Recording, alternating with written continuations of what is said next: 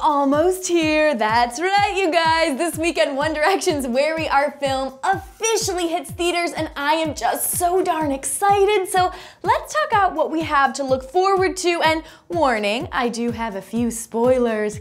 Hey guys, I'm your host, Chelsea Briggs, coming to you from Hollywood, and you're watching the Hollywire Hot Minute.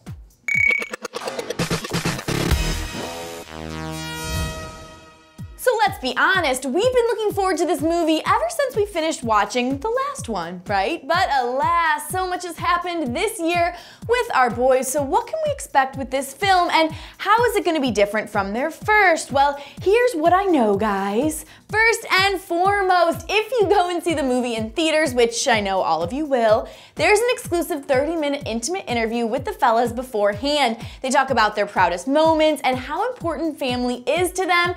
Hashtag real talk with 1D. What's been I guess your proudest thing that you've achieved so far, proudest either moment or thing you've achieved. Let's start with you, Zach. Like I really, really enjoyed the the VMA. Yeah, yeah, it just felt felt crazy the whole experience. Everyone was around us from Lil Wayne to yeah, you know Rihanna was sitting in the seat in front Wayne. of us. Big, big Wayne, Lil Wayne, Big Wayne, Middle Size Wayne, I, I Justin Timberlake, Canadian Wayne. And we are literally sitting there with like soft drinks yeah. and foot long hot dogs each. Ah. Louis turned to me during Justin Timberlake's performance. I'm sitting there with a hot dog in my mouth and he goes, We are literally the worst celebrities that have ever walked the planet. Secondly, I've heard the first five minutes of the movie are good, like real good. Heart beating, palms sweating good. Oh yeah, take that.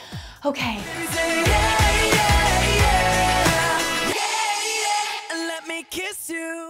Next up, okay, so we know the performance footage was taken from their Milan show, and apparently before we see any of it, there's a build-up. Ooh, so already that's different from their first movie, which I kind of feel like was mostly performances, right? So here's a little sneak peek.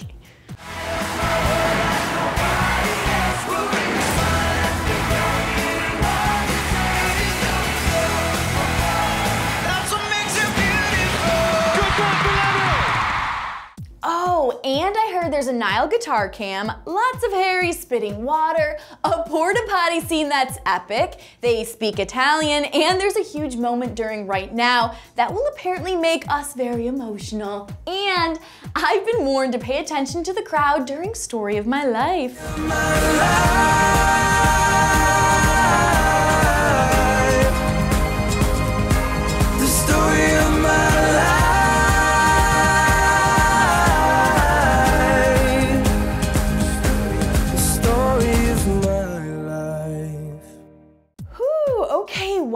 Guys, I am kind of freaking out and need this movie to be here right now. So let's talk it out. What are you most excited for and did I leave anything out? Have you heard something about the film that I haven't? Because if that's the case, tell me right now in the comment section below. And of course you guys subscribe to Hollywire TV if you get a minute, that would be awesome. And thumbs up, like and fave this video as well. For Hollywire.com, I'm Chelsea Briggs and I'll catch you on the flip side.